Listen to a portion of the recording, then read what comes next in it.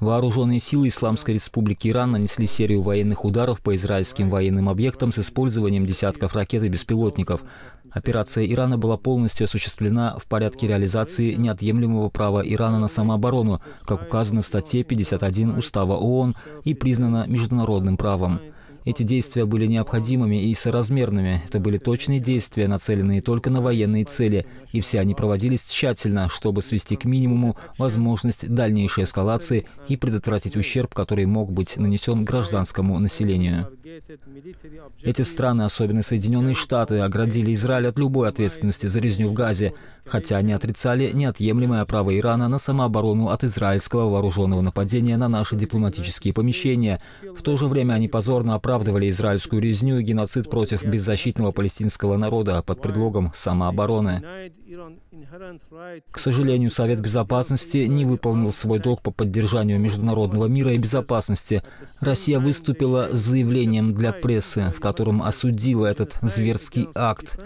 Заявление было поддержано Китаем, Алжиром и многими членами, но был заблокирован США, Великобританией и Францией. Столкнувшись с такими обстоятельствами у Исламской Республики Иран, не было иного выбора, кроме как воспользоваться своим неотъемлемым правом на самооборону в соответствии с международным правом. Политика премьер-министра Израиля направлена на расширение и эскалацию конфликта в регионе, чтобы остаться у власти.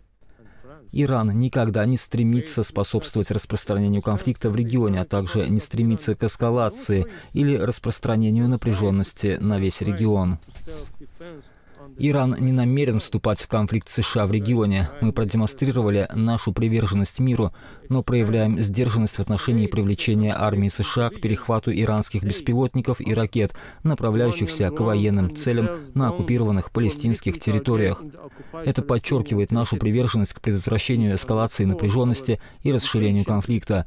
Однако, если США инициируют военную операцию против Ирана, его граждан или его безопасности и интересов, Иран воспользуется своим неотъемлемым правом, чтобы ответить пропорционально. Iran will use its inherent right to respond proportionately. I thank you.